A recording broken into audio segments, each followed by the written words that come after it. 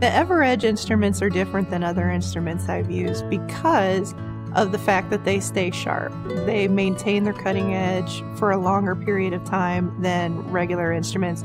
Even the older mod, older model, the older Hugh instruments from, you know, five years prior, even, you know, they, you know that they're going to be sharp when you use them, and it's just, it's good to know. It's just fabulous.